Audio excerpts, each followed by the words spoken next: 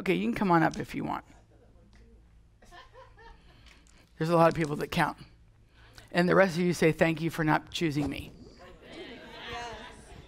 Okay, she, he's going to come help you up, but whoops. I understand that, but come on up. Okay, you right handed, and left handed. I'm going to have you stand over here, and I'm going to go over here. And actually, I'm going to just, you stand here, face them. Put your right hand out. No, your right hand, hand ar- your arm out like that. Okay? So, what I'm going to do is I'm going to. Yeah. I was just trying to help you out. You have feather on you. She's got feathers on her. It's pretty cool. She? Yeah. Okay.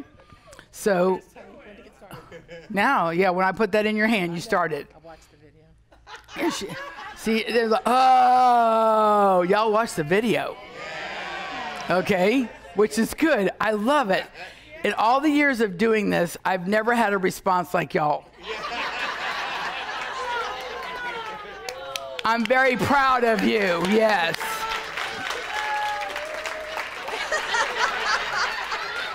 Any excuse to take it down. She knows what's coming. Another 15 minutes. Okay? But see, what happens is, you know, and I'll go briefly through this because you obviously you've seen it on the video. This is just a little, I think, 16 ounces of water. Very light, no problem. But after you carry this for 15 minutes, it gets really heavy.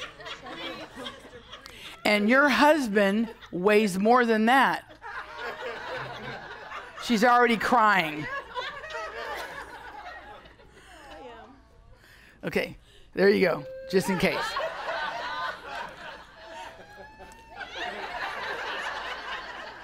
Yes, you can do this. I know you can. And so, your children, how many children? Four. Four. I got four also. My husband has four, so eight is enough.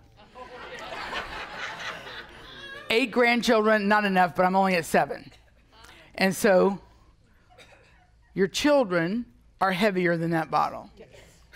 And you've been carrying your children for years. And even you've seen me on video, but you're still carrying them. Yes. Yes. It's just repentance up here. She's admitting, okay? And so it's very important who, who actually choose, and God really highlights who I'm supposed to choose. And, and the thing is, it's like you've carried the weight of your husband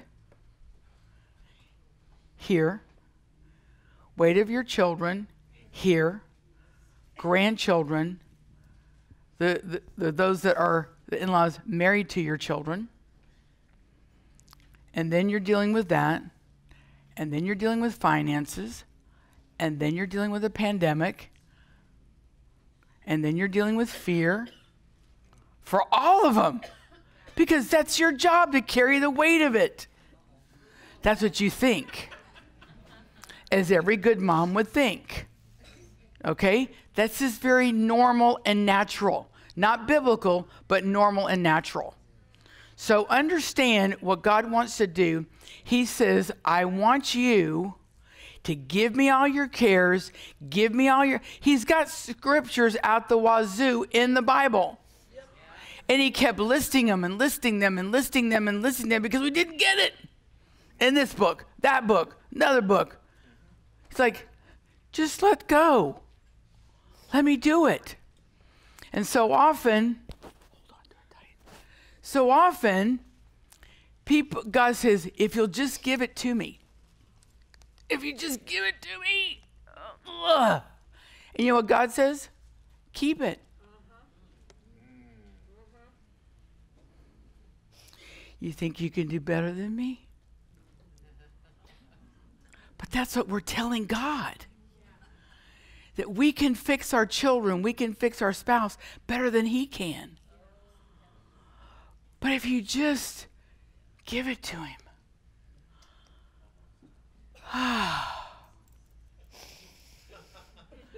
and you've been carrying Him for years, and this is only five minutes. You get you earned that. Yes. Amen.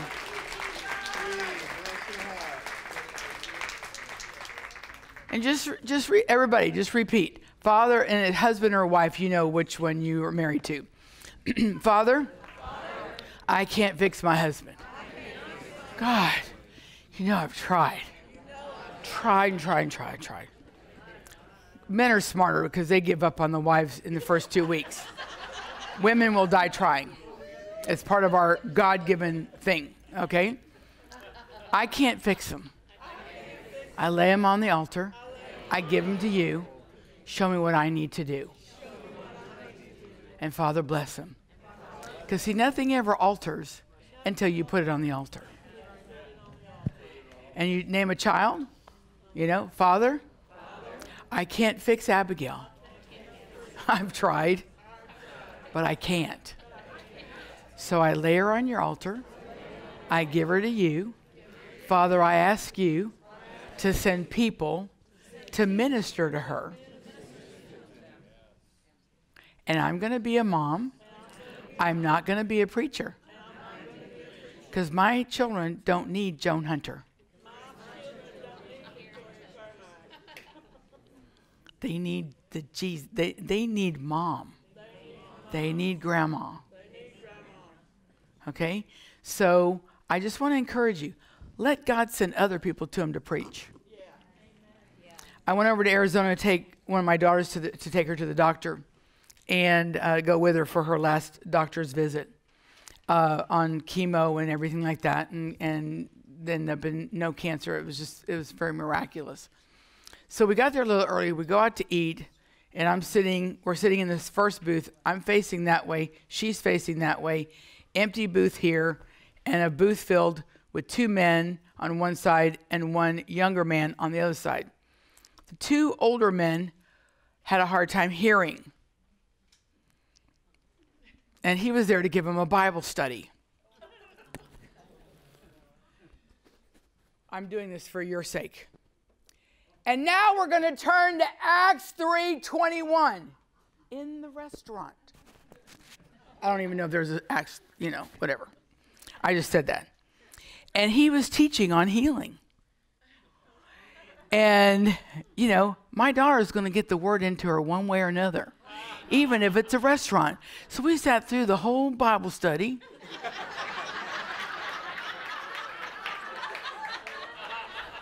and I didn't have to say a word. She goes, Mom, do you hear what they're talking about? What are they talking about? They're talking about healing. I'm like, I know. She goes, Hey, my mom's a healing evangelist. I went, Where did that come from? I thought it was pretty fun. God's going to get the word into our children. It's not our job to cram it down their throat. Because when they get older and you start teaching them and talking about Jesus, they're going to throw it up and get mad at you. And it's going to cause them to rebel most of the time. Okay? So you just be Jesus to them. Okay? I can't fix my finances. I lay them on your altar. I release them to you. I give them to you. Father, give me greater wisdom on how to handle that in Jesus' name.